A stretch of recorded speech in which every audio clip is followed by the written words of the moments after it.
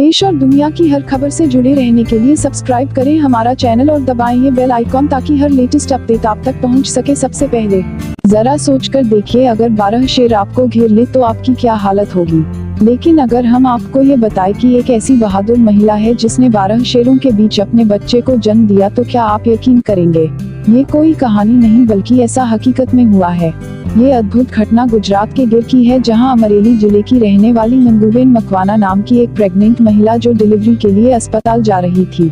लेकिन रास्ते में गिर का घना जंगल पड़ा जहाँ उसकी एंबुलेंस को शेरों की फौज ने घेर लिया। इसके बाद एंबुलेंस आगे नहीं बढ़ सकी और मंगूबेन ने इसी में बच्चे को जन्म दिया। अमरेली के 108 आपातकालीन प्रबंधन कार्यकारी अधिकारी चेतन ने बताया कि घटना गुरुवार रात ढाई बजे की है। इस दौरान करीब 20 मिनट तक ऐसे ही हालात बने रहे। आखिरकार एंबुलेंस स्टाफ ने डॉक्टर को फ़ोन किया और जानकारी लेकर डिलीवरी करवाई। बच्चे के जन्म के बाद उसे वॉम में रखा गया और फिर धीरे धीरे शेरों ने वहाँ से हटना शुरू किया। इसके बाद ड्राइवर ने भी एंबुलेंस को धीमी रफ्तार से वहीं से निकाला। महिला और नवजात को जाफराबाद सरकारी अस्पताल में भर्ती कराया गया।